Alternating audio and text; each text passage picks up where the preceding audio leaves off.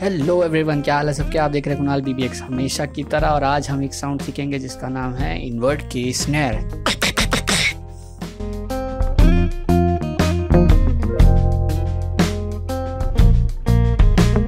Invert k स्नर बहुत ही ज़्यादा इंपॉर्टेंट साउंड है तभी तुम यहाँ पे आए हो। इन्वर्ट केसनर बहुत ही ज़्यादा इंपॉर्टेंट साउंड है for a beat boxer specially अगर तुम बिगनर हो और तुमने बी सीख लिया है टी सीख लिया है और तुम आउटवर्ड के सीख चुके हो तुम शायद पीएफ भी सीख चुके हो क्योंकि मैंने इन सबका ट्यूटोरियल डाल दिया है।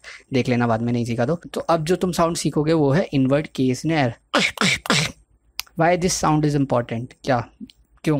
क्यों सीखूँ? मेरे को पी एफ़ स्नेर आता हो गया यार। पी एफ़ स्नेर से मैं बीट बना दूँगा। तो एक इन्वर्ट के स्नेर की मुझे क्या ज़रूरत? ज़रूरत है। क्योंकि एक कॉन्सेप्ट है इनवर्ट साउंड्स और आउटवर्ड साउंड्स का। ठीक है? अगर तुम सारी साउंड्स अपनी आउटवर्ड करोगे किक ड्रम भी आउटवर्ड पी स्नेर भी आउटवर्ड तो एक टाइम के बाद तुम बीट बॉक्स नहीं कर पाओगे। लाइक तुमने दो मिनट लगातार कर लिया, सांस तो खत्म हो गई ना? अब कहाँ है तुम्हारे अंदर साज कि तुम पी एफ़ स्नेर भी कर पाओगे किक ड्रम भी कर पाओगे थाई हेड्स भी कर लोगे? पॉसिबल नहीं है ना? तो इसलिए इन्वर्ट केसनर इंपॉर्टेंट है। ये क्या करता है? एक बैलेंस बनाता है बीट में।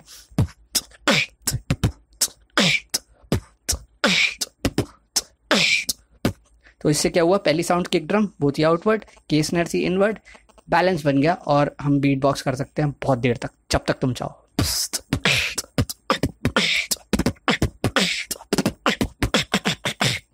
तो अब बात करते कि साउंड को करते कैसे हम ये साउंड सीखेंगे दो इजी स्टेप्स में। सबसे पहला स्टेप अपने को माउथ पोजीशन पता करनी है कि केस नैर करने की माउथ पोजीशन क्या है। सेकंड स्टेप होगा हवा को अंदर लेना। बस, क्योंकि इन्वर्ट साउंड है। तो पहला स्टेप जो सबसे ज़्यादा इंपॉर्टेंट है, वो है कि position of the k snare k snare करने के लिए तुम्हें करना क्या है?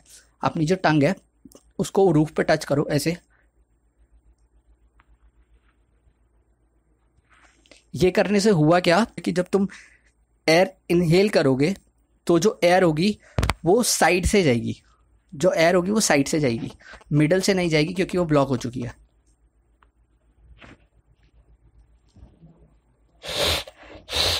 ठीक है? तो पहला स्टेप पोजीशन सेकंड स्टेप तुम्हें सांस अंदर खींचनी है।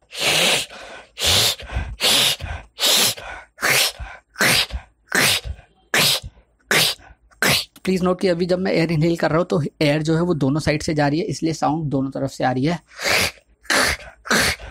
स्टार्टिंग में ऐसी साउंड आती है, लेकिन अपने को करना क्या है कि अपने को ये एक ही साइड से करना है, क्योंकि अपने को बाद में दिक्कत नहीं चाहिए। फास्ट के केस भी मन फास्ट केस भी करना अपने को। पहला पोजिशन पे ही अभी हम।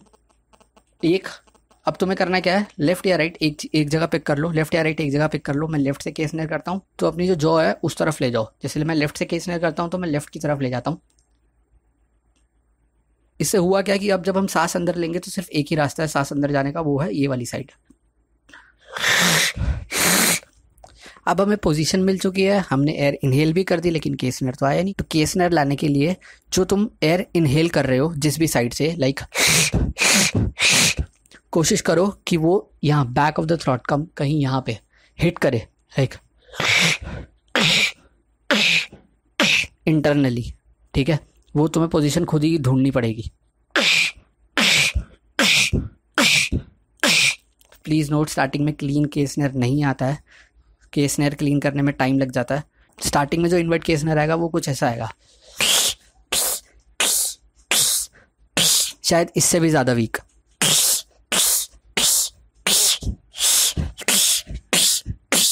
ठीक है? तो तुम्हें पूरा एयर लेना है अंदर तक, रोकना मत यहाँ। वो कोई दूसरी साउंड है जो हम आगे सीखेंगे।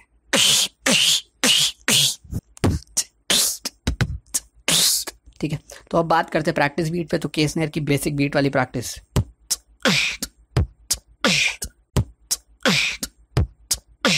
थोड़ी सी टफ बीट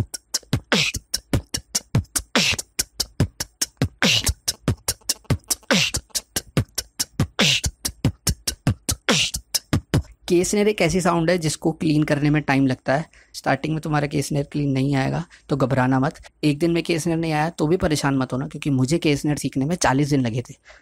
और मैंने जितने लोगों को उसके बाद केस केसनर सिखाया पर्सनली उनको एक दिन भी नहीं लगा। तो समझ सकते हो कि मेरी क्या हालत हो रही होगी, कि मेरे को चालीस दिन लग गए केस नेट सीखने में, ठीक? तो फिर टेंशन नहीं है, आ जाता है, मेरे को भी आ गया। और तुम्हें केस नेर क्लीन करने के लिए क्या करना पड़ेगा? और क्या क्या तुम्हें केस नेर में प्रॉब्लम आ रही है? या तो वो सारी चीज़ें तुम कमेंट बॉक्स में लिख दो। अगर तुम्हें और डाउट क्लियर करने हैं तो तुम जाके जतिन भैया की वीडियो देख सकते हो। उन्होंने ये सारे डाउट्स अपनी वीडियो में कवर करे थे कि केस नेर ख़राब है, क्या करें, मल्टीपल केस नेर कैसे करने हैं। तो तुम जाके वो वीडियो देख सकते हो, उसका लिंक डिस्क्रिप्शन में भी मैं डाल दूँगा और यहाँ पर कहीं आ रहा होगा। अगर नहीं आ रहा होगा तो डिस्क्रिप्शन में तो पक्का होगा। केसनर पे और एक एडवांस ट्यूटोरियल अगर तुम्हें चाहिए जिसमें सारे डाउट्स मैं भी क्लियर करूँ, जैसे जतिन भैया ने करे थे तो उसके लिए तुम नीचे कमेंट कर सकते हो। जाके जतिन भैया की वीडियो ज़रूर देखना, तुम्हारे काफ़ी डाउट्स क्लियर हो जाएँगे और उनका चैनल भी सब्सक्राइब कर लेना।